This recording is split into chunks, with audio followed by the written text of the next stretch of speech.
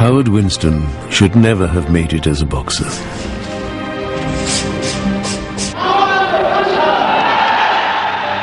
Since his teens, he'd been handicapped by a devastating injury. In his private life, he endured severe emotional trials. What a wonderfully going performance by Winstone, but he's going. He's done. The odds he faced in life would have overwhelmed most men. But the boy from Merthyr overcame all to become the greatest in the world.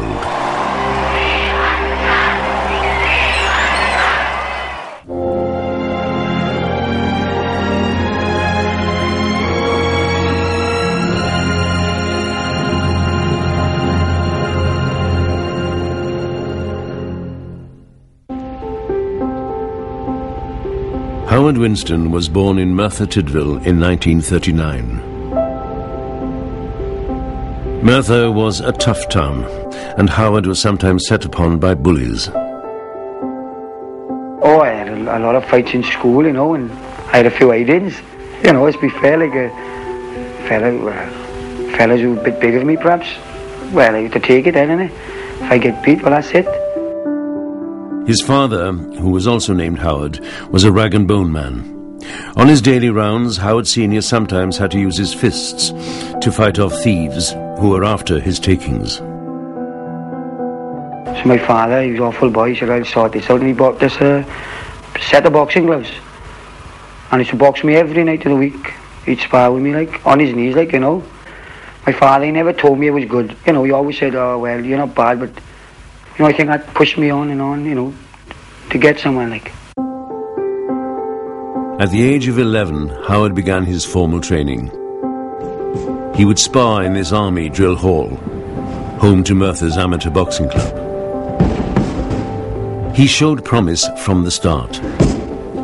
In his third competitive contest, aged 14, he became Welsh schoolboy champion.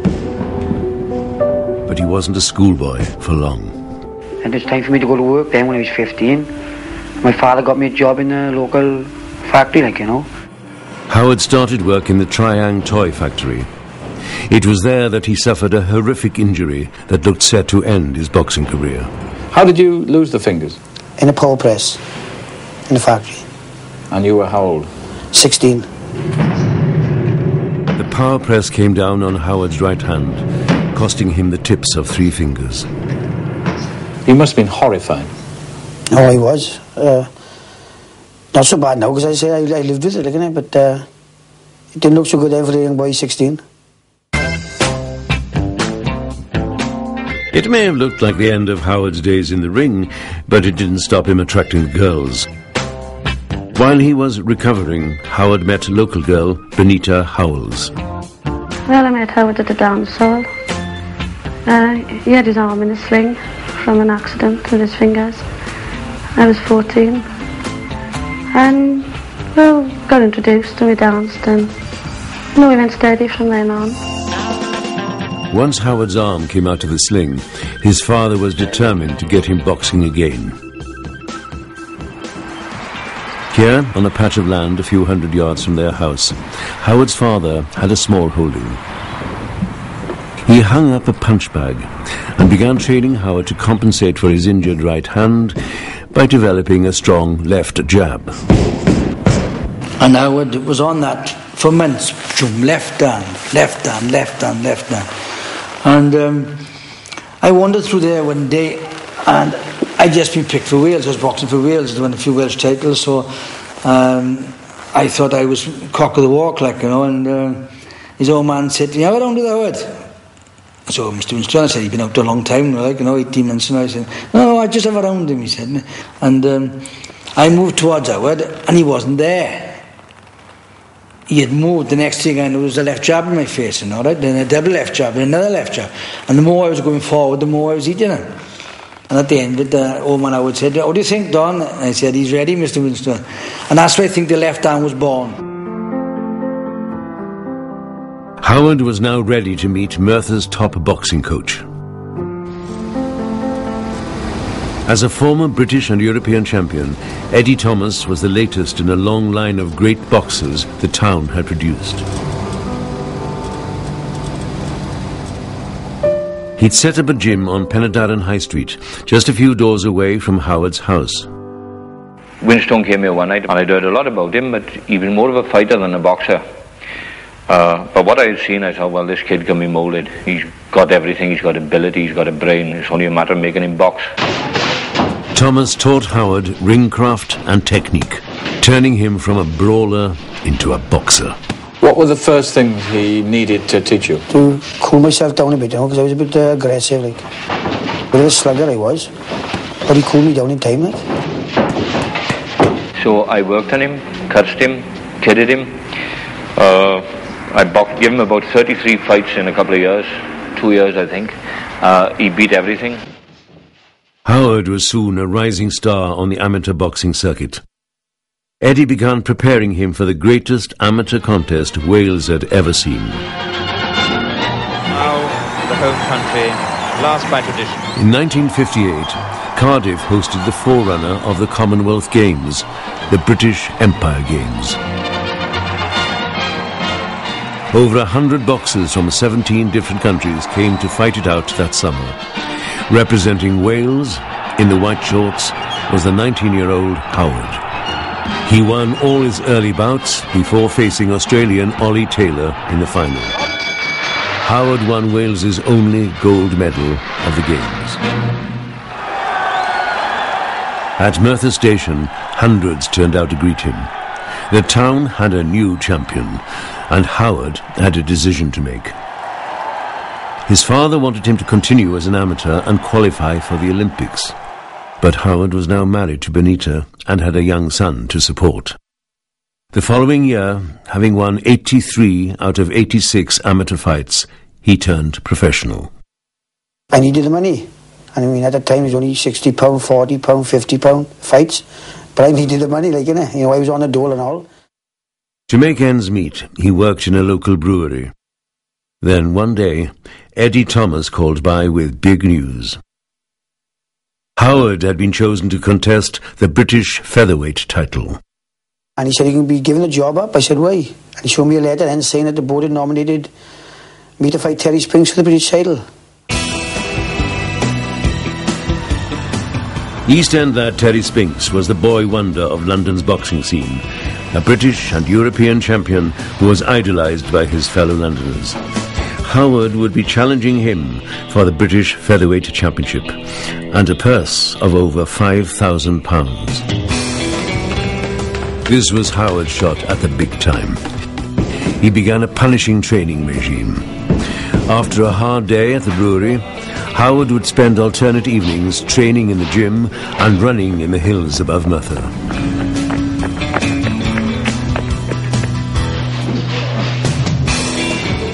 To build up Howard's endurance, Eddie put him up against a tag team of sparring partners.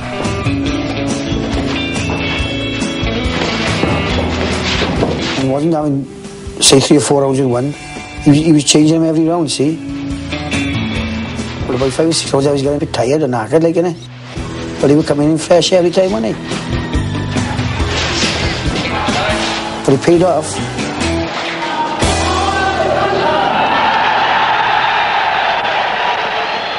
The fight took place in Wembley in May 1961. Howard's Merthyr fans had made a big day of it. They ran a train full up from Merthyr. They filled it up with beer and wine before they went from Merthyr. And the time they got to Cardiff, they had to fill up with beer and wine again. And up in Swindon again, they had to fill up again. You know, and oh, it was a great night. Everybody said the best night they ever had was the time I fought Terry Spinks. Howard came powering out to the right-hand corner. First round of this 15-round contest for the Featherweight Championship of Great Britain. Terry Spinks, the champion, and Howard Winstone, the challenger from Wales. What made Howard outstanding in the ring was his classical boxing technique. A combination of speed, footwork and precision punching.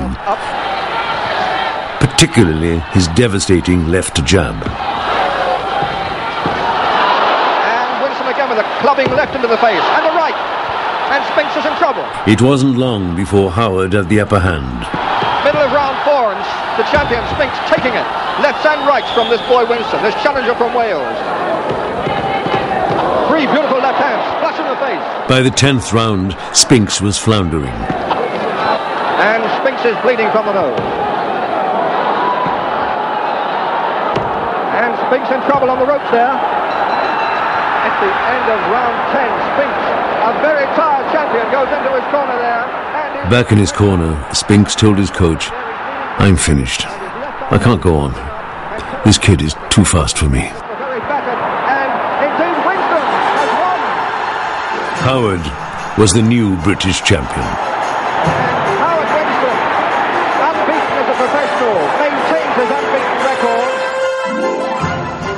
Howard was the first Welshman in 45 years to win the British Featherweight Championship. He rode into Merthyr with a police escort to be greeted by a crowd of thousands.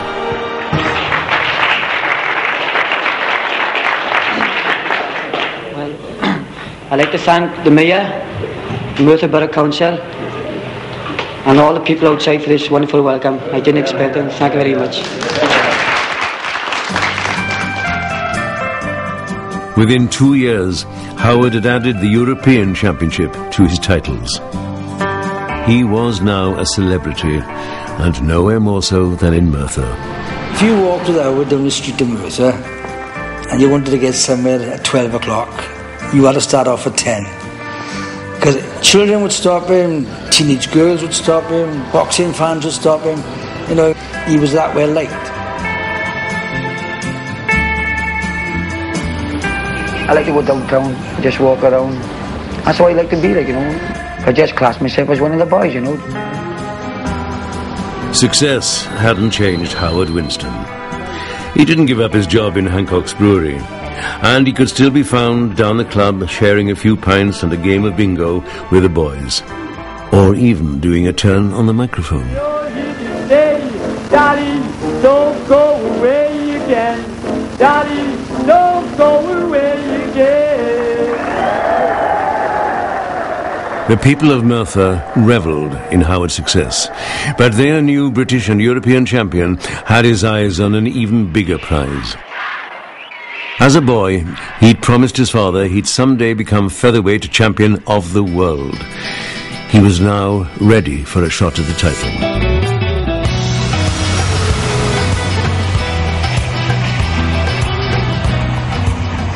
To win it, he'd have to beat world featherweight champion Vicente Saldivar.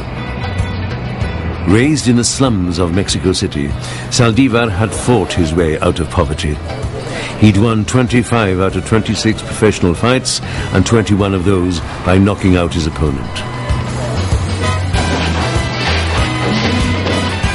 As a boxer, he combined phenomenal power and technical finesse.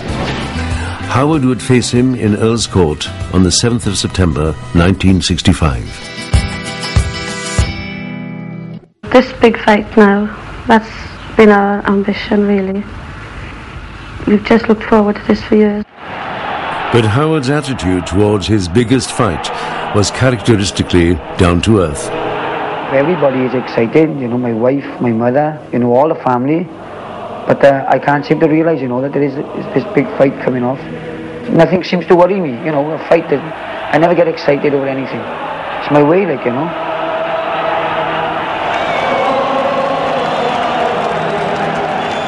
Twelve thousand fans had made the pilgrimage from the valleys of South Wales for the fight. and Britain hoping to win a world title, the featherweight championship of the world, the one title which a Britain has failed to win. No Britain has ever won the featherweight championship of the world in the history of modern boxing. Saldivar bombarded Howard with punches. Winstone later said, It wasn't like fighting one man, it was like taking on a gun. Winstone is Saldivar comes inside. Now this is what Winstone doesn't want to try too often. He doesn't want to go in there mixing it with Saldivar. Howard resisted, but in the closing round, Saldivar redoubled his efforts.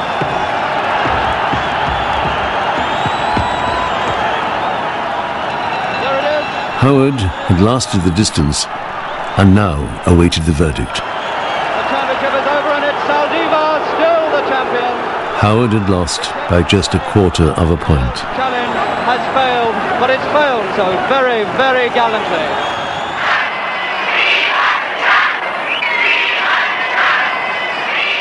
On his return to Merthyr, Howard had expected the streets to be deserted.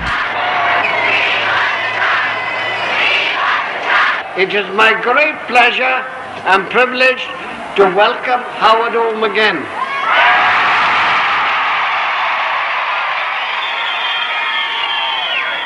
Unfortunately, he did not win, but he, but but but he is still champion to us. In the year that followed, Howard successfully defended his European title three times. But there was only one match he truly cared about.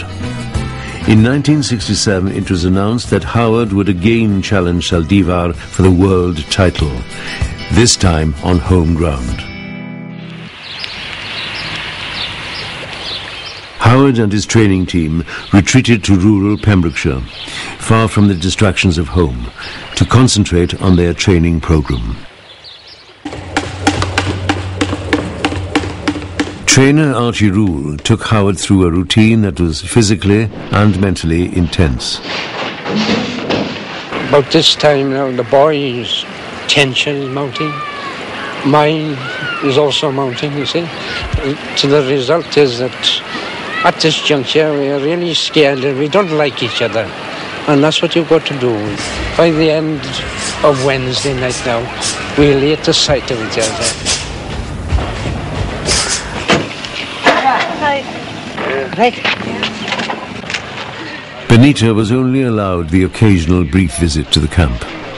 Like many managers, Eddie Thomas believed that wives were a distraction in the run-up to a fight, and Howard and Benita had spent their wedding anniversary apart. Are the kids ready? Hey? Good, isn't? Good boy. Oh, what are you doing? Oh, Oh, oh, Mrs. Bacon, that's kind of you. Smashing it. Oh, thanks very much. By now, the enforced separation of Howard's training regime was placing a strain on their marriage. I can't argue too much because, especially when he's training, I've got to sort of curb my tongue and take it in my stride, you know. That's it. Fine, thanks. Of course, like any other couple, we fight over silly little things or quite serious things. But it blows over, you know.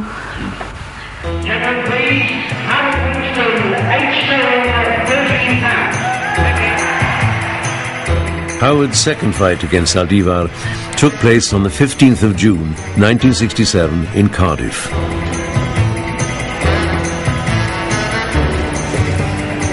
By train and coach and car, legions of supporters from Merthyr descended on the capital.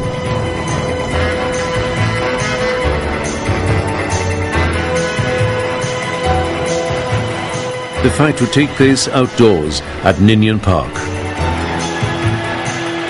With 25,000 fans watching, Howard had the home advantage.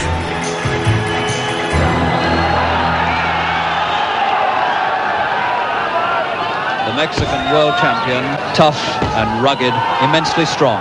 Winstone, the superb boxing master. Brilliant exponent of the straight left. Howard put on a show for the crowd that night, boxing with grace and style, slipping his left jab past Saldivar's defenses. We're now seeing the real pattern of this emerging, which is the left hand of Winstone and the boxing ability against the sheer strength and aggression of the Mexican. Saldivar hit back, but Winstone outboxed him, dancing out of the way. Two good punches from Winstone. I honestly think Winstone is fighting better in this fight than he did in the first one with Saldivar. Then, in the 14th, it looked as if Saldivar might stage another last-minute comeback. What a wonderfully game performance by Winstone, but he's going, he's done! Oh, he was hurt, but uh, I had this feeling I got to get up. Like, I said, one more round to go and I'll, I'll be champion, which I, I genuinely thought he would have been. But when I came back to the 15th, I was as strong as, well, I was pretty good, I was moving like a good head. A little uh, grey on again. And he's giving as good as he gets in the last round. He really is. Howard's recovery in the final round was astounding. The contest was a close call, but most ringside experts were confident that Howard had the edge.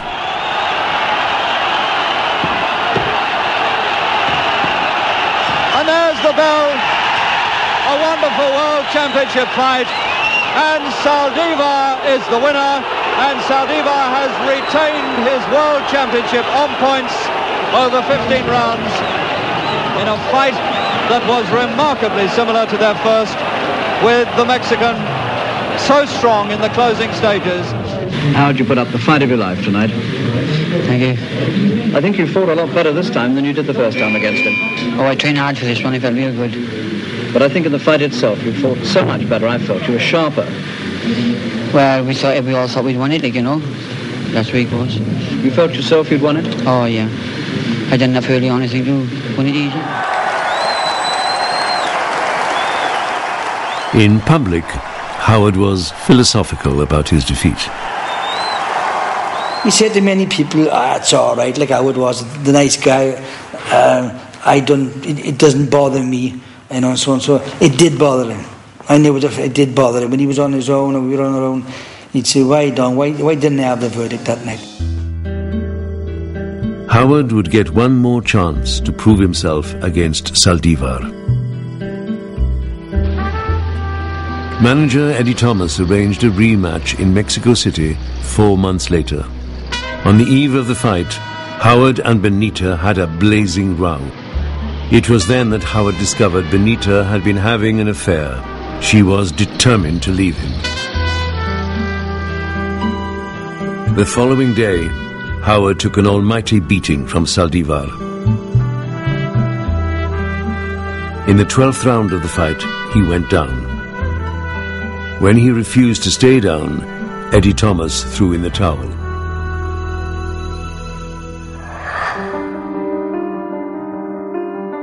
After they'd returned to Wales, Benita moved out, leaving the children in Howard's care. Their marriage was over. But in this dark hour, there was one ray of hope for Howard.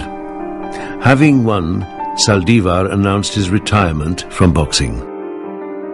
The world featherweight title was suddenly vacant. The huge physical demands of professional boxing had taken their toll on Howard. Now nearing 30, he was past his prime. And I'd had a lot of trouble and all, and I was putting a bit of weight on, you know. I was getting older now, man. I was going 29 now. But I just wanted to win the title, see? To win it, he would have to beat a much younger man, Mitsunori Seki of Japan. This fight in 1968 would be Howard's last chance at the world title. So Howard Winstone, amid scenes that haven't been heard at the Royal Albert Hall for years, these thousands of Welshmen cheering him on, making now his fourth attempt to win this world title against the southpaw Japanese, Mitsunori Seki.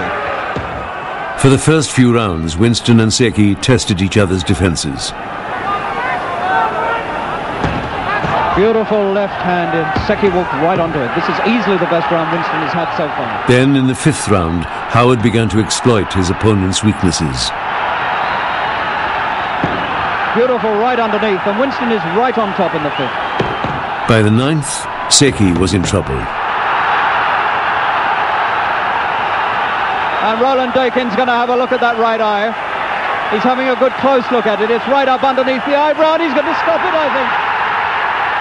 And Winstone is champion of the world at last and is the first Welsh world champion for 45 years and you won't stop the Welsh invading this ring now. Tell us how you feel at this moment. Oh, terrific. Terrific. I It's wanted my boys here. eh? I wanted my boys here and I told my father. My father started me off and I said I'd win it and out out of all my troubles, I've stuck to my word and I've done it. Uh-huh. And I'm proud. The next day, the whole of Merthyr came out to welcome their champion home.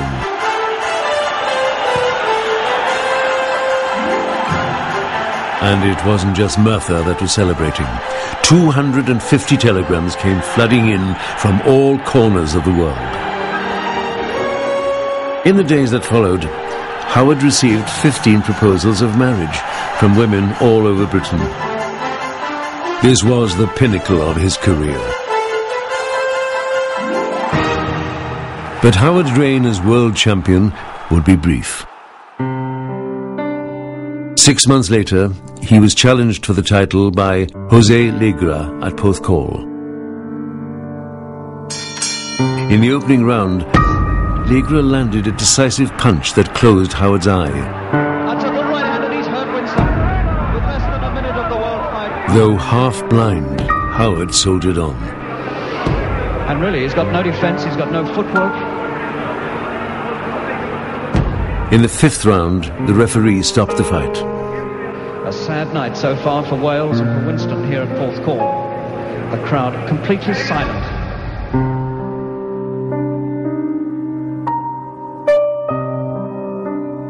I would have thought that, you know, a couple of years ago, you wouldn't have been caught with a punch like that. Yeah, it's true. A lot of people said this, you know. Because his old age, I don't know. Well, I think personally that you've slowed down a bit, and you get caught now with punches that you wouldn't have been caught. Oh, I know that. I, I realise that. You know. Does this worry you at all? Well, not really, and uh, I haven't decided on my future yet. I'm going to a few weeks to think it over, you know. You knew what I was coming to when I said this, because yes. obviously this is the question we all want to know. Are you going to carry on? Well, I don't know. I'm going away for all day on Saturday, and uh, two weeks in Jersey. I can whoop it up there, and I'll think it over then, you know.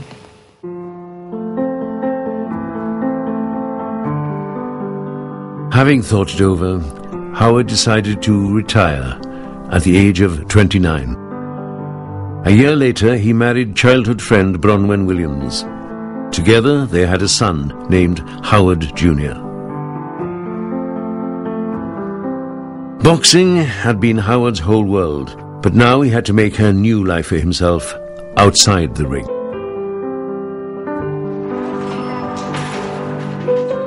For a few years, he ran a cafe in Merthyr bus station.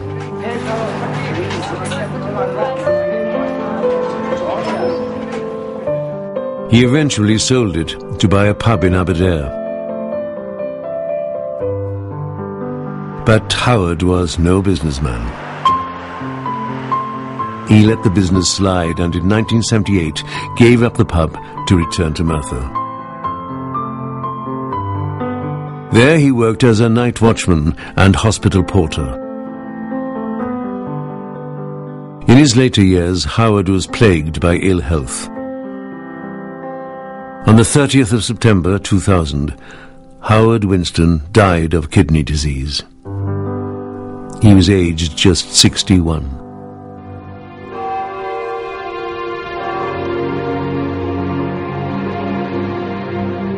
On the day of his funeral, the whole of Merthyr turned out to honour the man who'd won 61 out of 67 professional fights, had held the British and European titles, and had become the first British boxer to win the World Featherweight Championship.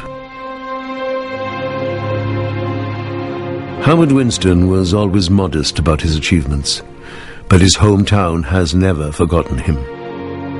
In 2005, he was voted the greatest citizen of Merthyr Tydfil.